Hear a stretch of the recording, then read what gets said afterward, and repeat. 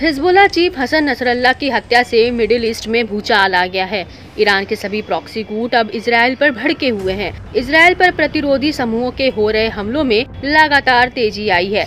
इस कड़ी में इराक के इस्लामिक प्रतिरोध ने एक बार फिर मोर्चा संभालते हुए इसराइल की मुश्किलें बढ़ा दी हैं। इसराइली शहर इलाक में प्रतिरोध के ड्रोन हमले से हलचल तेज हो गई है तो वहीं लड़ाकों का प्रतिशोध जारी है।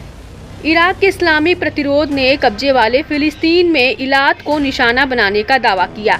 लड़ाकों ने अपने खतरनाक ड्रोन के ज़रिए इस ऑपरेशन का अंजाम तक पहुँचाया। इस दौरान सटीक हमले से इलात के एक महत्वपूर्ण ठिकाने को निशाना बनाने का दावा किया।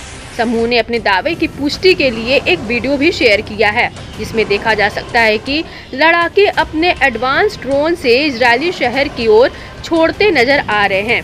साथ ही वीडियो में हिजबुल्ला के पूर्व चीफ हसन नसरल्ला की तस्वीर भी दिख रही है, जिसकी बीते दिनों इजरायली एयर स्ट्राइक में मौत हुई है। माना जा रहा है कि इराकी प्रतिरोध ने नसरल्ला की हत्या के जवाब में इसराइल पर ड्रोन अटैक किया है।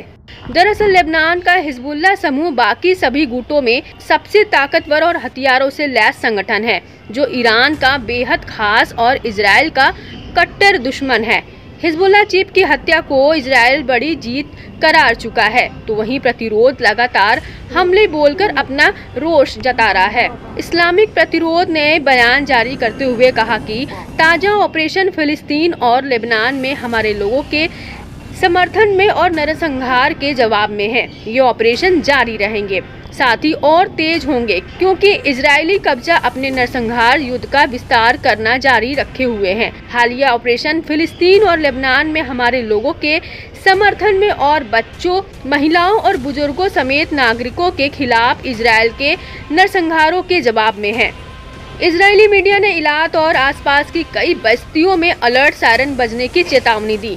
बताया कि ये अलार्म इराक से लॉन्च किए गए एक यूएवी के शहर के बंदरगाह में दुर्घटनाग्रस्त होने के कुछ दिनों बाद आया है, जिसमें दो लोग घायल हुए थे। हालाँकि आईडीएफ ने कहा कि इजरायली नौसेना की मिसाइल बोट ने लाल सागर के इलाके में इजरायली एयर स्पेस के बाहर एक ड्रोन को रोक लिया था।